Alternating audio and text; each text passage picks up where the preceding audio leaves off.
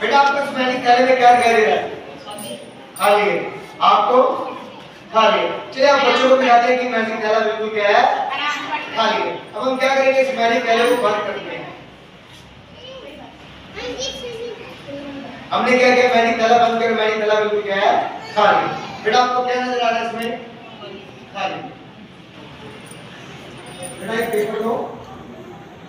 अब आपने क्या करना है? इसमें पेपर डाल दीजिए अच्छा मुझे तैयार आपको क्या नज़र आ रहा है? इसमें पेपर पेपर और बेटा आपको क्या नज़र आ रहा है? झूठ मत बोलो।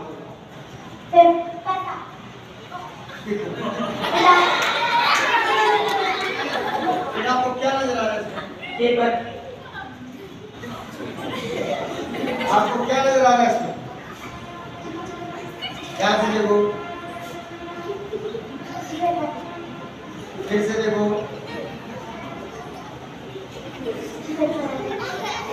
फिर से देखो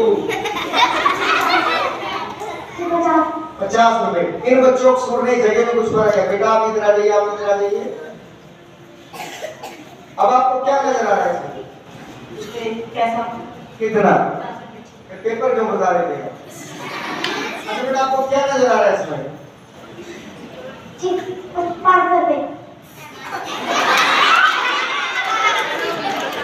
छोटा प्रकार का बड़ा धमाका आपको कितने का नोट नज़र आ रहा है?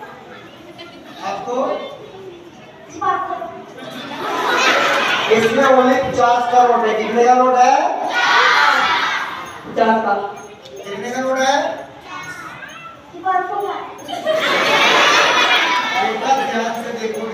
है। हाँ चलिए हम क्या करते हैं? गेम खेल के आ जाइए आप।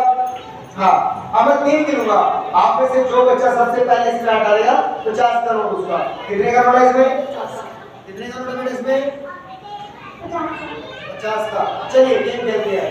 आप क्या याद कीजिएगा? हाँ आप कीजिए आगे। एक, दो, चलो। आप बहुत लालच ले रहे मुझे इतना लालच ठीक नहीं होगा। हमने कहा था गेम खेलेंगे बेटा आपकी जीतने की कोशिश करा दो क्योंकि जो गेम खेलते हैं ना, आपके माइंड में एक चीज़ होनी चाहिए मुझे जीतना है। हारना नहीं है। चलिए आगे हाँ। एक, दो, तीन। चलो निकालो। जिस बच्चे को जीतना है, चास करो दोबारा से।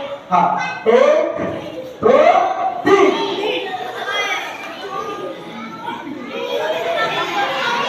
इससे क्या समझ मिलता लालच बुरी? कभी नहीं? हम जादूगर जब वो पचास का पाँच सौ दिखा सकते हैं, पाँच सौ का पचास दिखा सकते हैं तो हम उसका कागज़ भी ला सकते हैं। तो मैगी के साथ साथ कुछ संदेश हमारे ऐसे हैं, जो आपके जीवन में काम आएँगे। तो इससे क्या समझ मिलता है? कि लालच बुरी लालच कभी नहीं? और इन दोनों बच्चों को नीचे बैठ करना चाहिए धन्यवाद अब चलिए आप बच्चों को राष्ट्र पत्र है मिस्र देश की राजकुमारी है। बोलो मिस्र देश की एक दिन क्या हुआ मिस्र देश की राजकुमारी कहने लगी पिताजी मुझे हिंदुस्तान घूमने का बहुत शौक है और मुझे हिंदुस्तान की सैर करवा दीजिए। लेकिन उसके पिताजी बोले कि बेटा, अगर तुम हर रोज स्कूल जाओगी तो मैं आपकी हर ख्वाहिश को पूरा करूँगा। अगर बच्चों, आप लोग हर रोज स्कूल आएँगे तो आपके मम्मी पापा आपकी हर ख्वाहिश को पूरा करते हैं ना? अगर आप स्कूल नहीं आएँगे तो आपके मम्मी पापा नाराज़ हो जाएँगे ना? जो अच्छे बच्चे होते हैं, वो सभी के सभी बच्चे स्कूल में आते हैं। अगर आप स्कूल में नहीं आएँगे तो आपके मम्मी पापा हो जाएँगे तो एक दिन क्या हुआ? राजकुमारी कहने लगी कि मैं आज स्कूल, नहीं जाऊँगी। उस पर उसके पापा को गुस्सा आया। राजा ने क्या किया? राजकुमारी को कमरे में बंद कर दिया। ये क्या राजकुमारी का कमरा? तो राजा ने राजकुमारी को एक कमरे में बंद कर दिया। और ये क्या है? ये राजकुमारी का स्कूल है। क्या राजकुमारी का? जहाँ पर राजकुमारी बिल्कुल भी नहीं गई है। तो राजा ने क्या किया? राजकुमारी को कमरे में बंद कर दिया और कमरे में बंद करने के बाद ऊपर से ताला लगा दिया। और वहाँ एक जादूगर आता है। वो जादूगर कहता है कि, राजा साहब, आप अपनी बेटी को भेजो। आज मैं आपकी बेटी को हिंदुस्तान की सैर करवाता हूँ। तो राजा कहने लगा कि, आज मेरी बेटी स्कूल नहीं गई है। मैंने उसको कमरे में बंद कर दिया है। कहाँ पे बंद कर दिया है? जादूगर कहने लगा, आपकी बेटी तो स्कूल में जा चुकी है, कमरा खोल कर नहीं देखिएगा। जैसे राजा ने कमरा खोला और जादूगर ने एक मंत्र लगाया और बोला, गिली गिली। और जैसे गिरी गिरी गप्पा करा तो राजकुमारी वहाँ से बिल्कुल गायब हो जाती है और राजकुमारी कहाँ चली जाती है, अपने स्कूल में चली जाती है। कहाँ चली जाती है?